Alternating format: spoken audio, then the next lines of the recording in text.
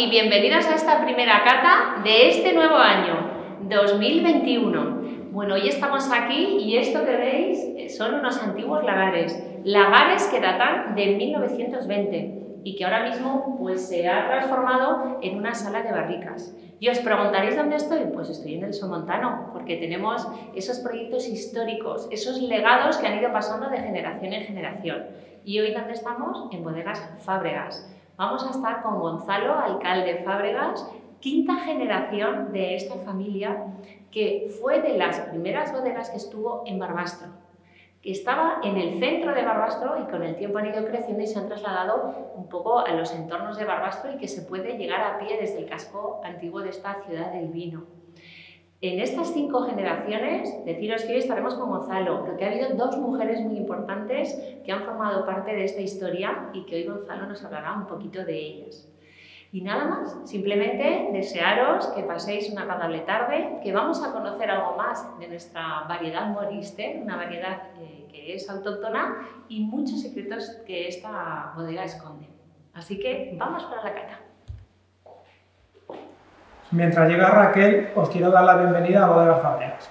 Ahora que el ciclo de Catando Montano llega a su Ecuador, nos hacía especial, eh, nos hacía especial ilusión eh, dedicarlo a la variedad Moristel, que es una variedad autóctona de aquí de Somontana, para la cual hemos, hemos reunido una cata vertical con algunas de las añadas que hemos elaborado en la bodega, empezando por la añada 2016, que fue la primera añada que hicimos de esta variedad en la época reciente. Os he puesto aquí delante dos botellas con, los con un vino antiguo de la variedad eh, Moristel, que se llamaba Tinto Moristel, que elaboraba mi abuelo, y luego la imagen actual. Entonces más tarde podemos, eh, vamos a poder catar la añada 2016, 2018, 2019 y así poder comparar un poco el efecto de las añadas de los vinos. Bueno, a ver si llega Raquel y empezamos con la... Bueno, Gonzalo, este aquí, que estaba por ahí unos lagares de 1920, ¿no? Es como hacer un retroceso a la historia y ver cómo al final los, los legados se reconvierten. Sí, sí, sí. Bueno, pues como les decía Oye, os decía, muy buenas tardes a todos. Estamos aquí en Bodegas Fábregas. Y Gonzalo, nos hablabas que estos son tus abuelos, sí. pero yo abajo decía que es una familia de quinta generación. Sí, la, bodega es una bodega muy antigua, se fundó en el año 1883, con lo cual yo soy la quinta generación de la familia. Y el retrato que tenemos aquí detrás son los, fundadores de la bodega, que es mi tatarabuelo. Entonces, pues desde entonces, en, sus inicios, la bodega, para la gente de Barbastro, los que no sigáis de Barbastro lo conoceréis bien, la bodega original se encontraba en el, en el, barrio, bueno, al lado de la iglesia de San Francisco, en la calle Graus.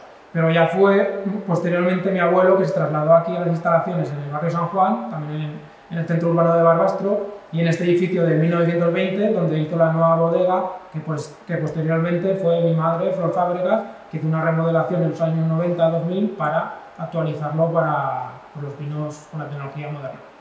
Cuando acababa la presentación, eh, decía, me he olvidado algo importante y es porque, bueno, Gonzalo es esa parte joven del somontano que, que, se ha incorporado y que con toda su pasión y con su energía está reinterpretando ese legado que ha recibido.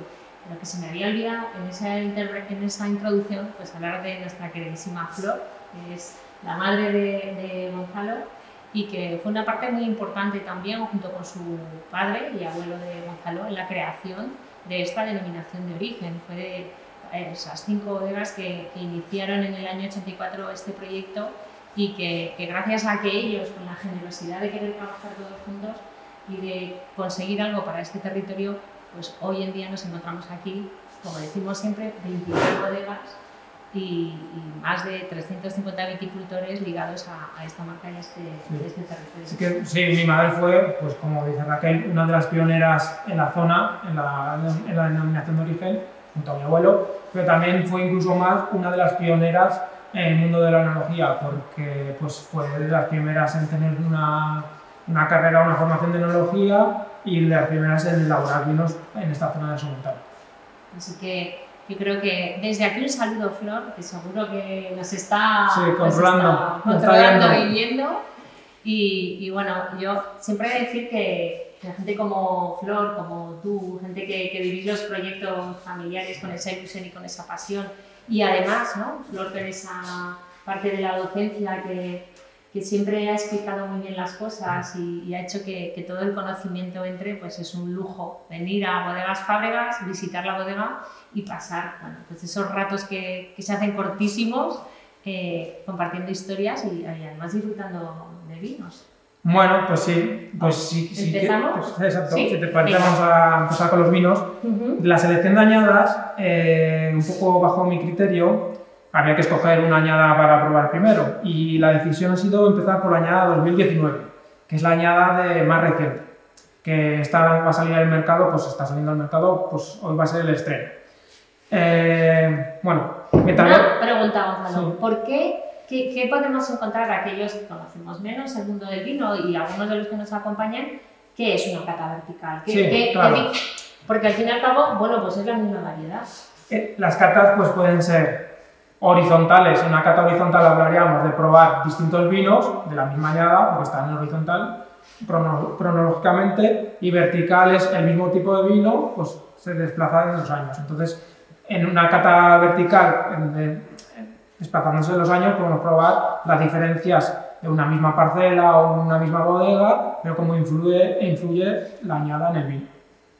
Es decir, que al final, dentro de nuestros vinos, hay una parte muy importante que es el sitio donde están y la climatología, que durante todo un año ha llevado ese viñedo en, ese territorio. Sí, sí, sí. Realmente hay un efecto muy importante. Esto, bueno, estos vinos están todos elaborados por un viñedo viejo de, de, Moristel, que tenemos la fortuna de que es un viñedo de secano y es bastante estable con el efecto de los años, pero, o sea, estable estable en la producción, siempre produce lo mismo, no le importa mucho el efecto de los años, pero luego sí que hay cambios que es lo que vamos a poder disfrutar.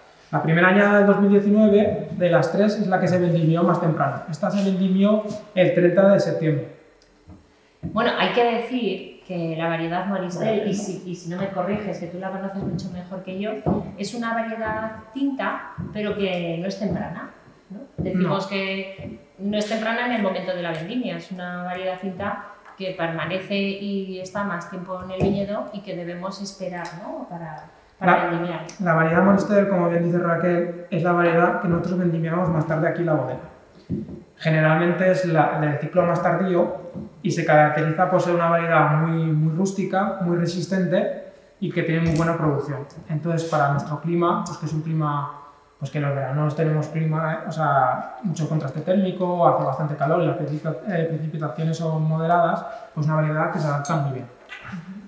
Eh, esto del lacre lo que tiene y el directo, que es bueno, decir, efectivamente que tenemos unas botellas ¿no? que, están cerradas con lacre. Sí. Eh, hay algo que no hemos dicho y que esta botella se llama familia. Sí, sí, sí. Aquí quisimos hacer un pequeño homenaje, pues esto es una bodega familiar y a la familia, y recuperamos una antigua imagen con la F, con la que antiguamente mis, mi tatarabuelo y mis abuelos marcaban los toneles para identificar lo que pertenecían a la familia Fabregas, que es esta F que sale en la etiqueta, que es una F antigua, ¿vale? Entonces hicimos este homenaje y le dimos esta imagen a, a ¿Te va a servir un poquito, Raquel? Sí.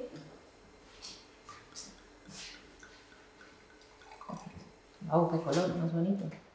Bueno, pues como os explicaba, la añada 2019 hemos comenzado con ella porque fue la añada, digamos, que fue un año que se caracterizó por tener un verano bastante caluroso, por lo menos el principio del verano, con una ola de calor intensa, pero que no, realmente no afectó mucho los viñedos de Somontano, porque aquí tenemos la, fortuna de estar cerca de los Pirineos y estar un poco resguardado, resguardado esto.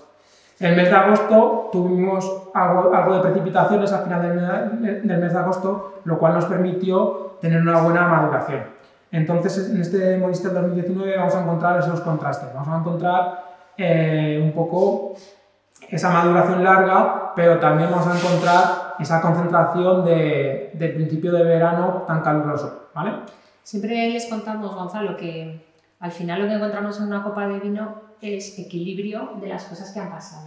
Y además, el 2019, Carlos Montano fue un año récord en, en, recogida de uva y fue un poco por ese efecto que ha dicho Gonzalo, que llegamos con un poco de sequía y hubo precipitaciones, que siempre dicen, cuando se vendimia y llueve, eso es malo, ¿verdad? Para... Y no es así. En muchos casos, como fue en este año, fue algo que... Realmente el Moriste le vino de fábula, porque esas precipitaciones que fueron a final de agosto, pues otras variedades no lo pudieron aprovechar tanto. Pero el Moristel estaba cerrando su ciclo, entonces le vino muy bien para completar el ciclo y llegar un poco más holgada a venir. Al final. Bueno, pues lo que sería la cata propiamente dicha, pues empezaríamos por la fase visual, que la variedad Moristel siempre se caracteriza por tener una, una, capa media de color, a veces más intensa, a veces menos intensa, aquí tenemos una capa media, pero sobre todo por lo que se caracteriza es por tener un ribete muy violáceo, tiene un color muy intenso, muy, muy bonito. ¿Vale? Es de ribete, ¿verdad? Al final de la... Final. Cuando Gonzalo habla de capa, para aquellos que sean más iniciados, lo que se refiere es a, la transparencia del vino, si se transparenta mucho o se transparenta menos. Y un color muy bonito. Sí, en cuanto, bueno, el color ya te seduce. En cuanto a los aromas, vamos a primero a oler a la copa parada encontramos, pues, como os he dicho, es una, fue una añada con mucha concentración, pero encontramos un primer impacto sobre todo de frutas. Vamos a quitar un poquito la copa para ayudar a las aromas a salir. Y ya nos da una fragancia, pues, pues eso, muy seductora. Tiene todos los recuerdos de fruta roja, estilo de frambuesa. Tiene también un componente muy característico del Moristel que vamos a ir viendo en otras añadas, es los aromas a hierbas aromáticas. Aquí podemos encontrar también toques de, como de romero, cosas así junto pues, la cremosidad del trabajo en barrica. Este es un vino que os he dicho que es el mismo viñedo en distintas añadas, pero lógicamente pues hemos ido un poco aprendiendo, hemos ido cambiando un poco la forma de elaborarlo. Desde la primera añada del 2016 al 2019 ha habido algunos cambios en la, elaboración. Entonces eso también lo podremos ir viendo. En esta añada 2019 el vino permaneció en barricas, pero el formato de las barricas cambió. Estamos empleando actualmente barricas de 300 litros. Esto le da una mayor influencia en el vino, entonces vamos a encontrar esa cremosidad, ¿vale?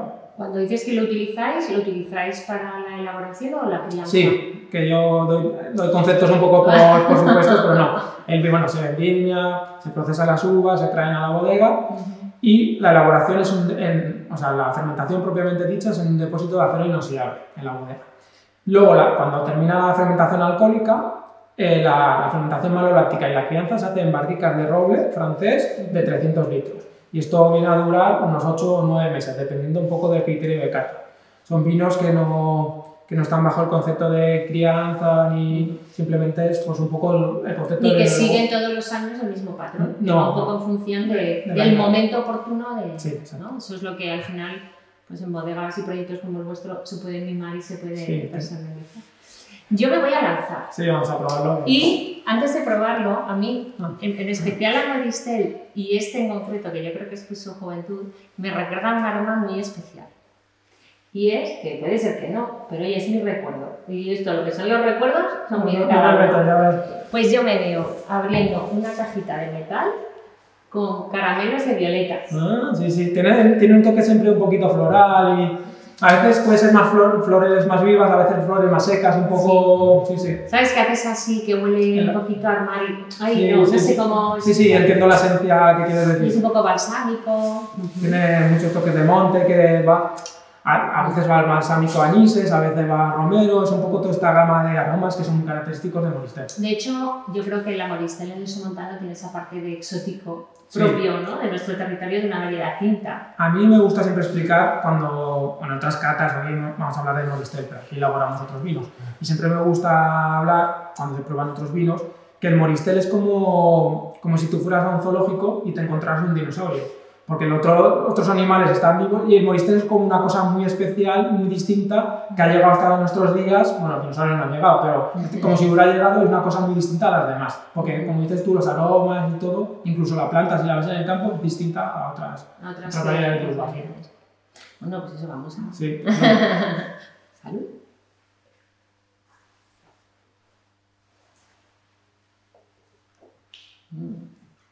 Bueno, por estar, bueno, lo hemos probado, siempre, bueno, el primer impacto de este vino es un vino muy agradable. Por eso es la primera añada, aun siendo la más joven, he decidido en escogerla la primera por esta madurez que le coincidió la añada 2019.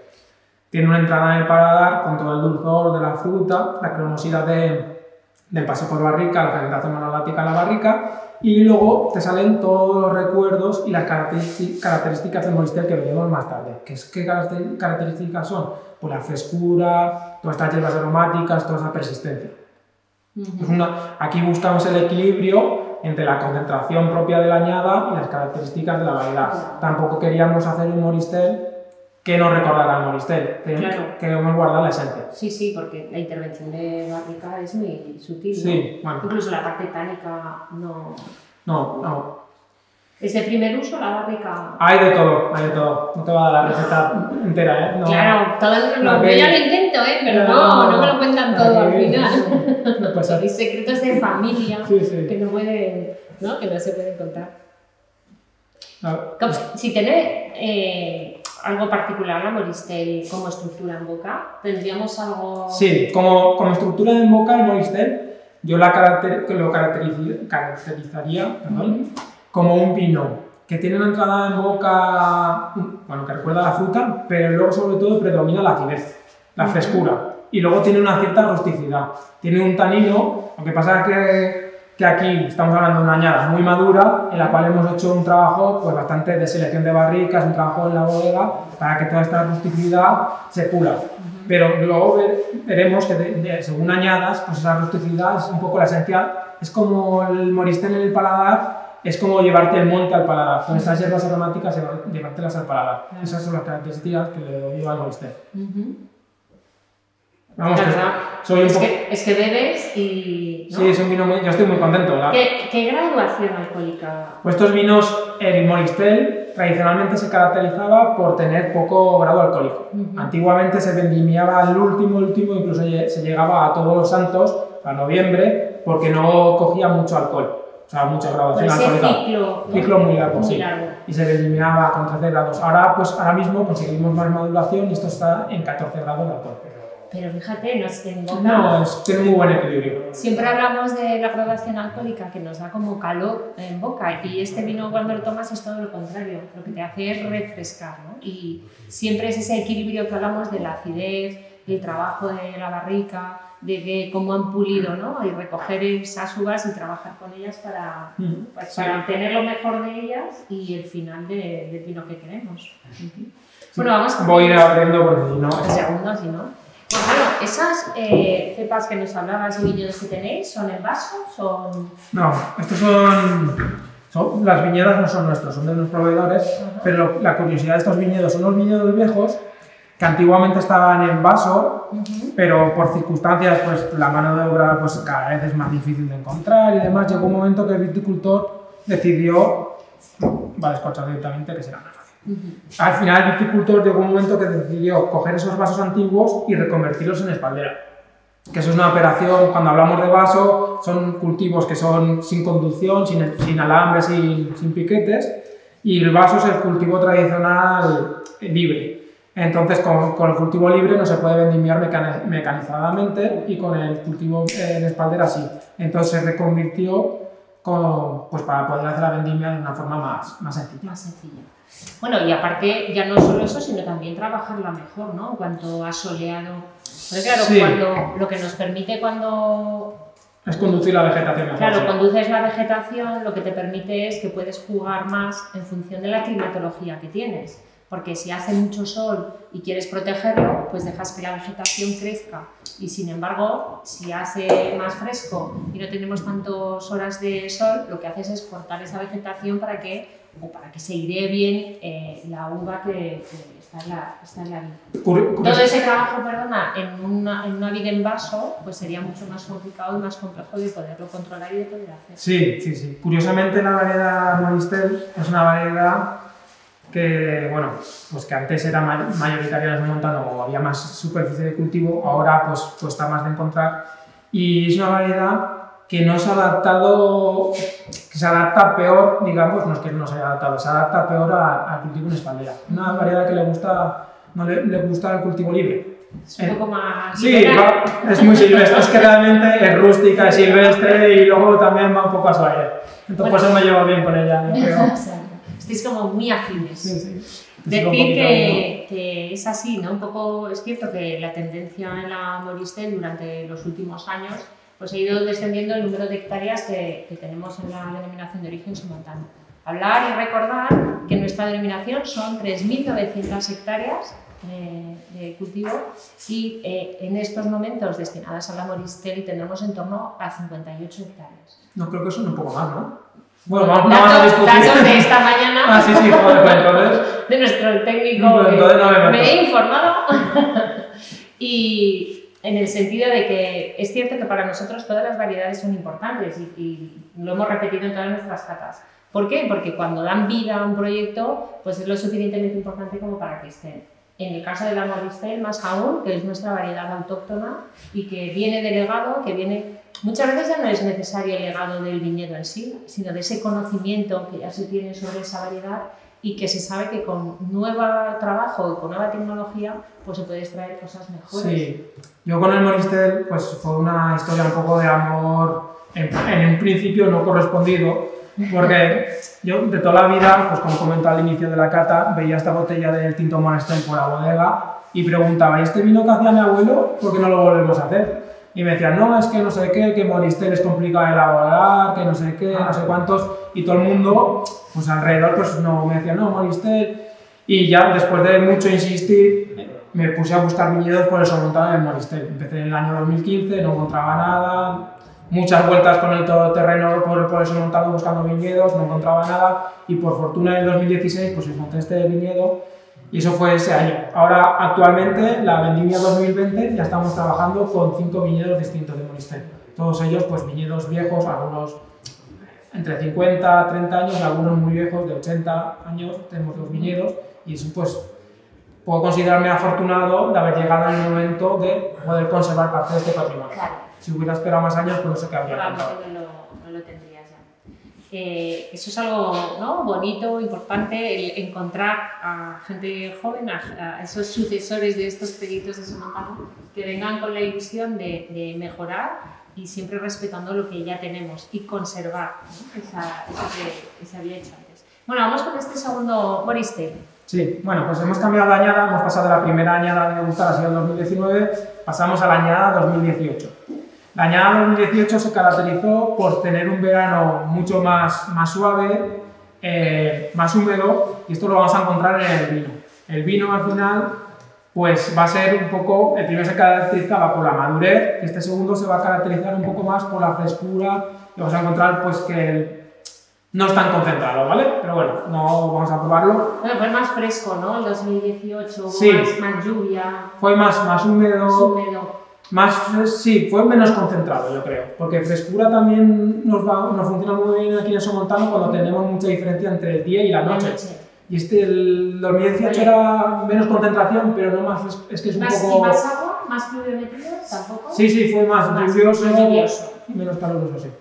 Bueno, la capa, el color, pues también tiene una capa media, y aunque si, si comparáramos un vino con el otro, al final el ribete, que es el encuentro del vino con la copa, pues los dos son ribetes muy relacionados. En 2019 es más vivo, en 2018 pues ya pues el paso del tiempo lo ha ido matizando, ¿vale? ¿Hablamos de tiempos de barrica similares? Claro, sí, es bueno explicarlo.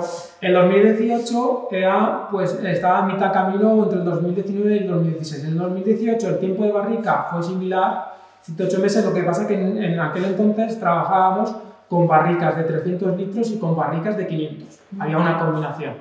Entonces, entonces no, pues no va a ser pues, un paso intermedio. ¿vale?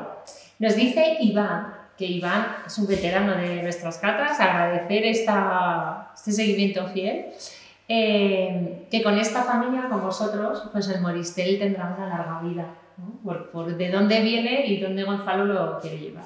Y nos pregunta si hacéis blancos y rosados. Sí, sí, sí. Hacemos, bueno, pues aquí la bodega pues elaboramos vinos tintos y blancos y rosados. Blancos con la variedad de chardonnay, garnacha blanca y Fegustraminer y rosado generalmente con Syrah y con garnacha tinta. Pero hay que decir que para ese Catando 2021, cuando acabe este ciclo, yo le he hecho el guante de catar las garnachas blancas que tiene Gonzalo, que son ah. muy ricas y que además las trabaja. Ya, te cojo el guante. Bueno, Caterina y Víctor, que nos hablan también desde Madrid, bienvenidos. Enhorabuena por los vinos que hacéis. Yo me siento muy orgullosa de poder trasladar estos mensajes. Conocía vuestro Vega Ferrera, ¿ya no lo hacéis? Sí, lo seguimos haciendo. Este es un vino histórico de la bodega que hace referencia a una parcela nuestra que se llama Ferrera.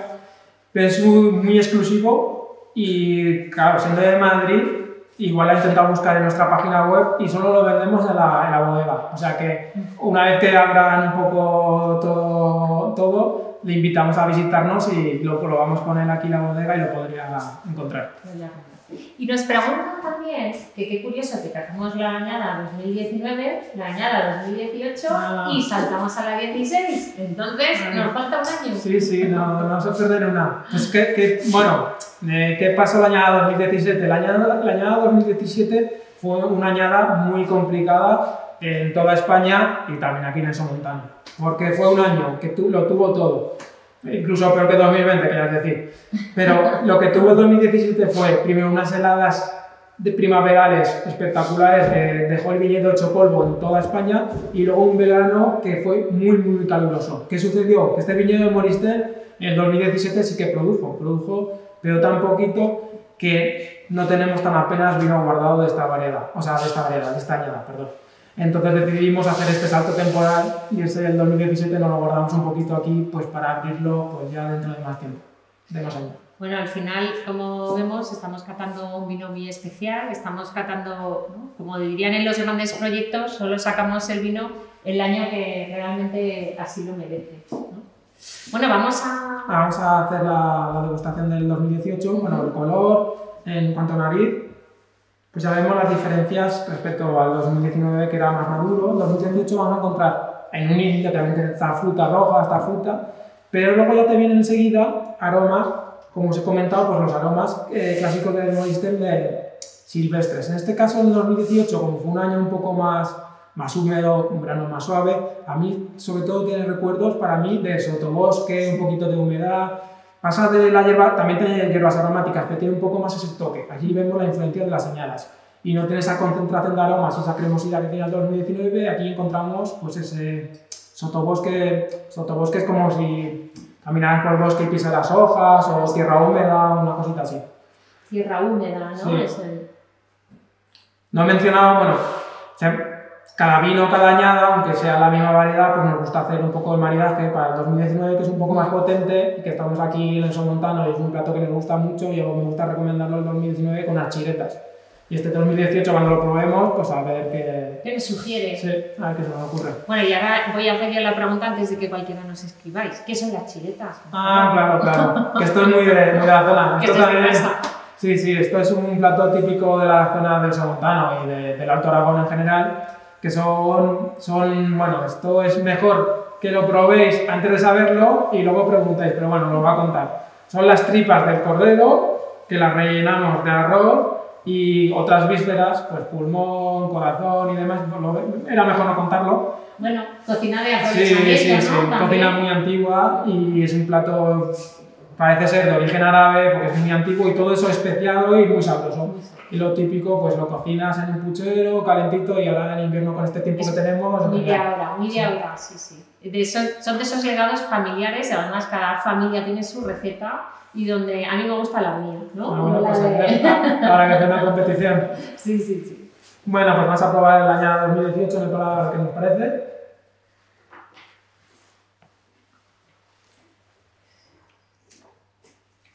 Bueno, pues como os comentaba, es una añada que ya es más característica del Moristel en el sentido de que tiene mayor frescura, más acidez.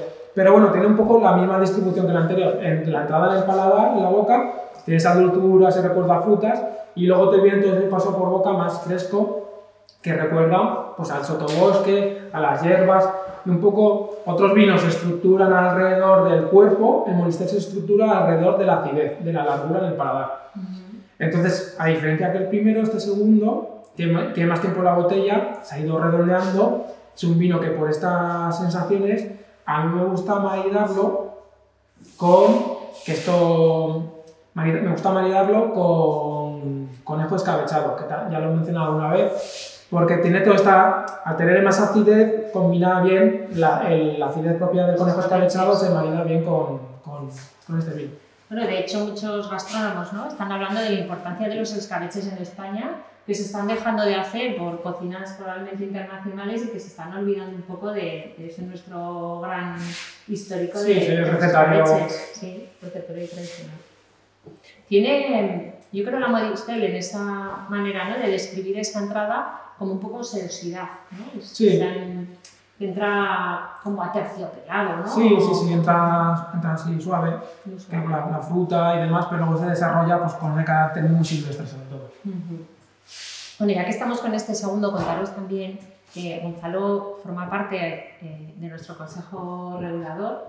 Eh, es una mesa que a veces hemos mostrado dentro de, de, nuestras redes sociales y dentro de la denominación de origen, donde pues una representación de, de, bodegas grandes, bodegas pequeñas, viticultores más grandes, pequeños, la administración, pues entre todos ¿no? se busca buscar ese camino que, que, se debe seguir para poder llevar todos juntos este territorio.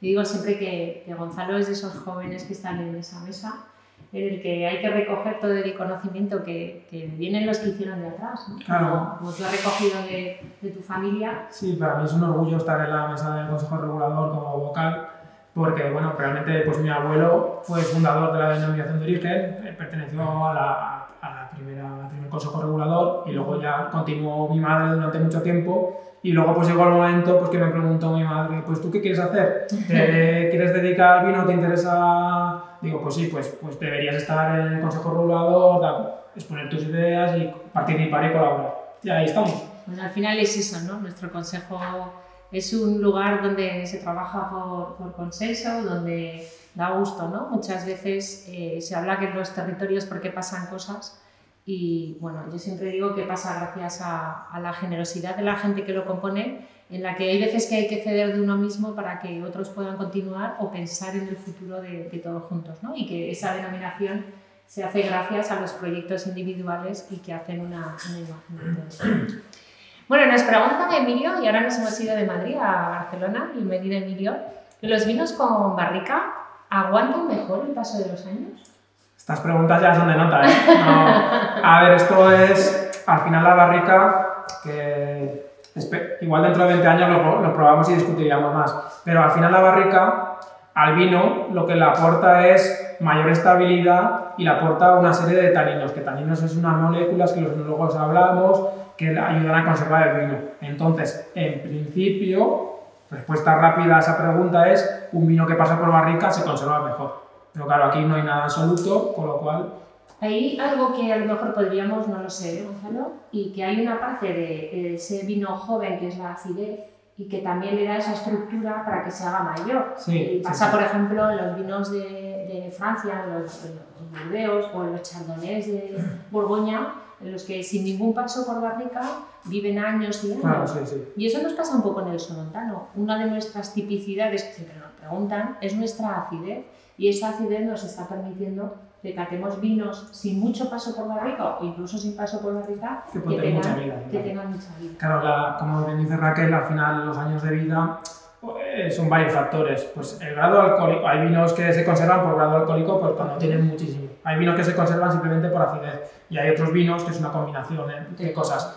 Y al final, pues, pues los vinos de Montana, pues esta acidez nos permite que viva más tiempo. Sí. Esto al final es como las personas. Hay gente joven que nace con el ADN estupendo, ¿no? Y estamos Sí. fenomenal, aquí como Gonzalo y yo. bueno, vamos a abrir esa tercera. Sí, vamos a por el tercero. Bueno, es muy bonito ver también, y os invito a que cojáis las dos copas, luego cuando tengamos la tercera, porque en el color es bonito ver como, como en los ribetes se nota un poco ese cambio ¿no? ya de color, de ir de violáceos a, a un poco a tonos ya que, que se van oscureciendo. Y, y una pregunta que me hacía yo, Gonzalo, es ¿cuánto tiene que ver en la evolución del vino porque hayan pasado añadas? Ujú. Algo sí que hay de la intervención de barrica, pero esos toques a sotobosque vendrán más por ese paso del tiempo, ¿no? De ir de una añada a otra o de la propia añada. Son más. En los aromas de sotobosque, eh, yo los, los doy más como aromas varietales. O sea, son más Sí, aromas. pero por, Sí, pero por, su, sí. por en su momento joven o porque realmente esa Moristel ha evolucionado. Estamos ya Sí, ya, ya, ya. ya, Ah, Vale, vale. con vale. un año de evolución y probablemente cuando catemos el 16 tendremos aromas varietales que han evolucionado Sí, sí, sí, también, claro, porque claro. por el propio tie- paso del tiempo ya, ya no tenemos esa fruta joven Sí, sí, sí. o esa violeta fresca. Ah, Claro, sí que es verdad que este vino, recién fermentado en el año 2018, ya tenía parte de estas características.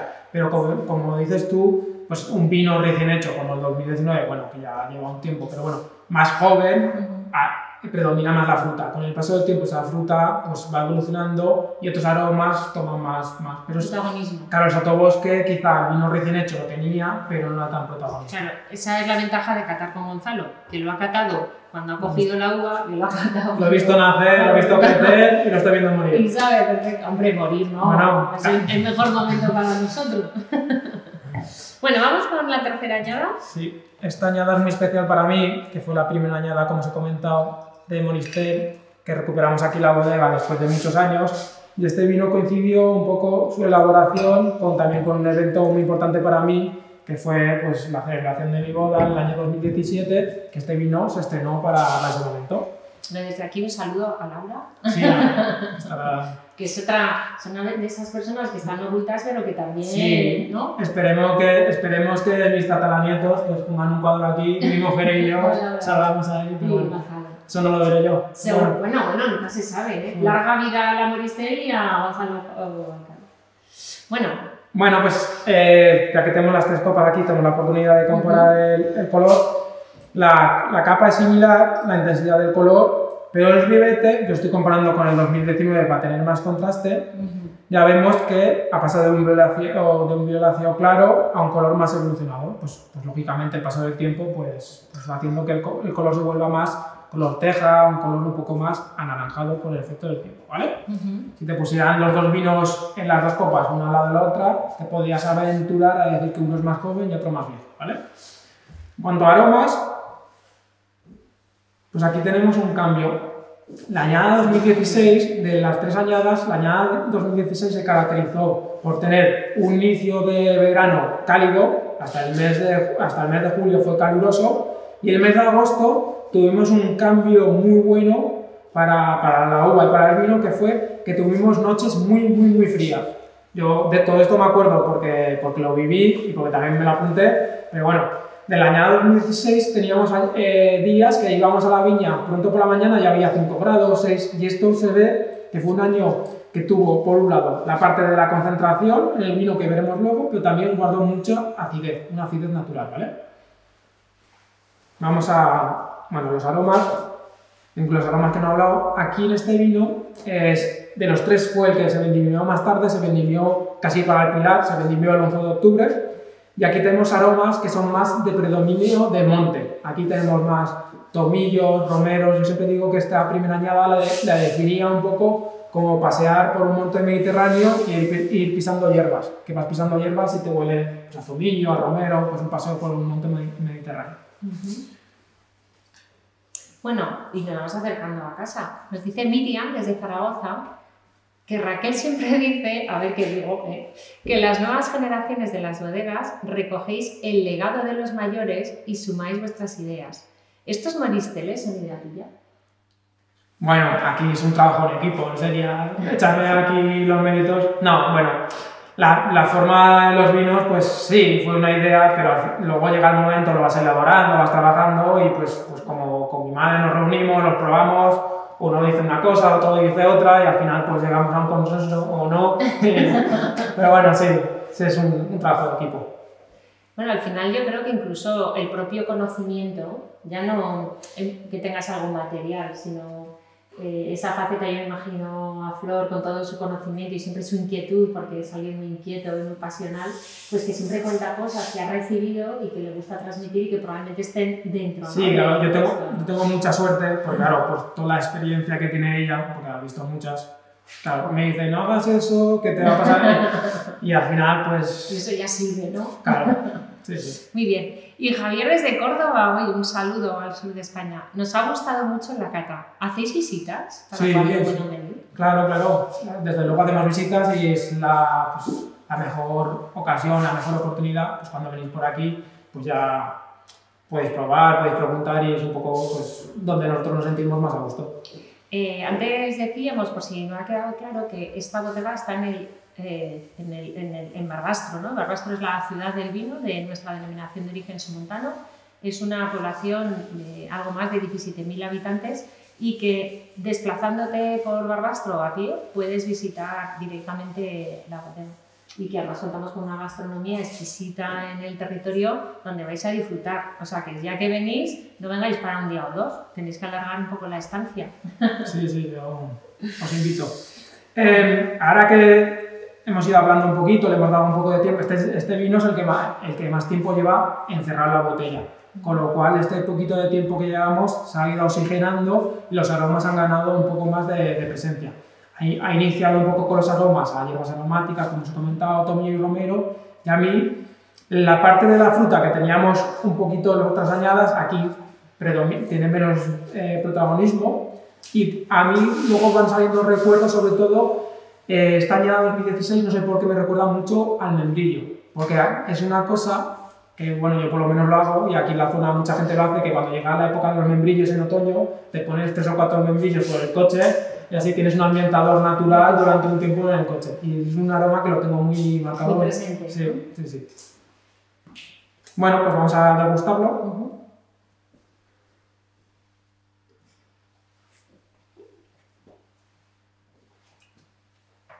Pues bueno, como os decía, esta añada 2016, el mes de agosto, esta gran amplitud térmica nos dio el vino con mayor frescura, con mayor acidez. Este vino yo tengo muchas ganas de, que pase el tiempo, no solo porque pase todo lo que pueda pasar, pero tengo muchas ganas de ver cómo evoluciona con el tiempo. Porque toda esta acidez, esta viveza, está, con los años, yo cada año pues me voy abriendo alguna botella, lo voy degustando y cada vez me gusta más. Porque en el paladar tenemos esta entrada que es sedosa, pero aquí tenemos mucha más frescura, una acidez muy viva, una acidez casi diríamos hasta cítrica.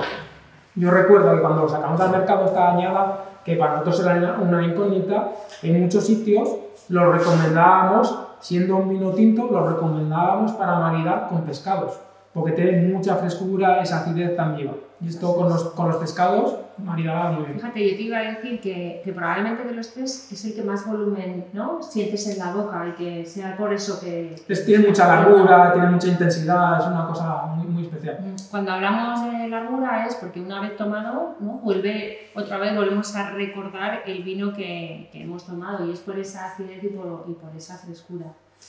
Eh, y va ligado un poco a lo que hablábamos antes, ¿no? de ese paso del tiempo del vino que no solo el trabajo de la barrica, sino esa acidez marcado por ese año hace que, que se comporte... Mm. En este vino el trabajo de barricas fue distinto y fue pues un poco... Aquí trabajábamos tan solo con barricas de gran formato de 500 litros y en estas barricas de 500 litros lo que sucede es que al ser mayor el volumen respecto a la superficie de madera, la influencia de la madera es menor. Aquí encontraremos menos influencia, menos aromas, menos textura de la madera que en los otros vinos.